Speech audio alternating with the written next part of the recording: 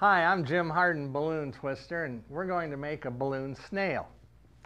We're going to take one of our 260 balloons here and pump it up till it's oh, almost all the way full.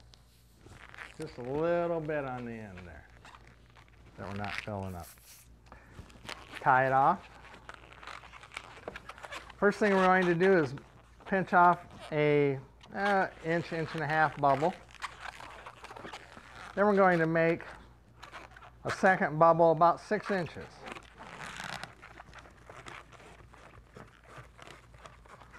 Now we're going to make a matching bubble.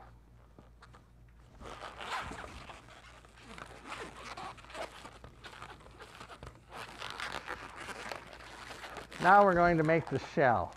And to do this, we're going to take the end of the balloon and fold it over. I'm going to hold it with my left hand. What I'm doing here, fold it over, and I'm just going to roll it along the balloon. And as I roll it, I'm holding it with my left hand. Kind of there. So you roll it, hold it. Roll it, hold it. Roll it, hold it.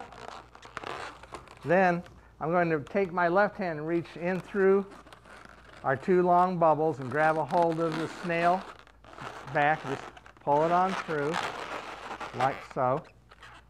Okay.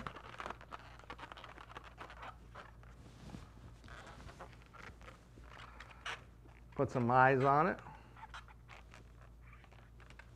I'm Jim Harden, Balloon Twister, and that's how you make a snail out of a balloon.